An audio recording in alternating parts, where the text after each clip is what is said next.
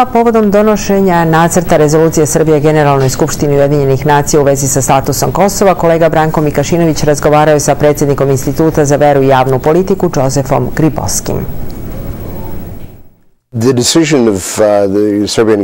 Odluka vlade Srbije da podnese rezoluciju o Kosovu Generalnoj skupštini Ujedinjenih nacija nakon savetodavnog mišljenja Međunarodnog suda pravde i kako se navodi nepotpune konsultacije sa Evropskom unijom i Sjedinjenim državama može da dovede u pitanje njen uspeh.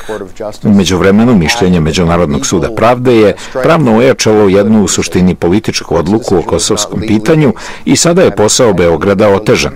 Svaka svakako da bi rezolucija Srbije bila efikasnija da je podneta u saglasnosti sa Evropskom unijom i Sjedinjenim državama, tim više što širom sveta postoje zemlje koje izražavaju zabrinutost povodom proglašenja nezavisnosti Kosova. Međutim, mišljenje Međunarodnog suda pravde bi moglo da utiče na situaciju u Južnoj Osetiji, Abhaziji, Zapadnoj Sahari, Bliskom istoku, na aspiracije Mađara u Rumuniji, Baska u Španiji i tako dalje. Mišljenjem suda sada imate fundamentalnu promenu u međunarodnom poimanju suvereniteta, granica i uopšte sistema država. Posle odluke Međunarodnog suda pravde, da li nazirete neke promene u stavima Sjedinjenih država i Evropske unije? U stavu Sjedinjenih država prema Kosovu skoro da nema nikakve razlike između administracije predsednika Obame i Busha. Dve administracije imaju daleko više zajedničkog nego što su američki glasači očekivali 2008. kada su glasali za predsednika. Jedno od tih zajedničkih aspekata je i Kosovo. Sjedinjene države i dalje ostaju pri stavu da je Kosovo nezavisno i da ga Vašington kao takvog podržava.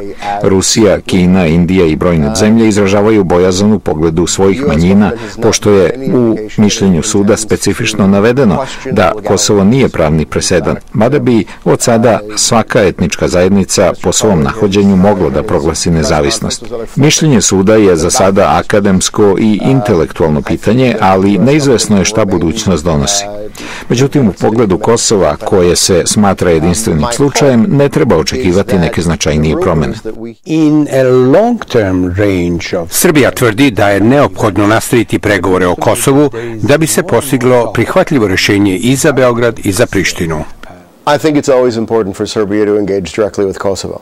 Mislim da je važno da Srbija i Kosovo započnu direktne razgovore i da se između ostalog razmotre ekonomska i bezbednostna pitanja, stanje ljudskih i verskih prava i tako dalje. Međutim, to su razgovori koje je trebalo održati pre proglašenja nezavisnosti. Drugim rečima, proglašenjem nezavisnosti Kosovo je stavilo status pre standarda i time se sada našlo pod pritiskom međunarodne zajednice da reši pitanja koja nisu bila rešena pre nezavisnosti.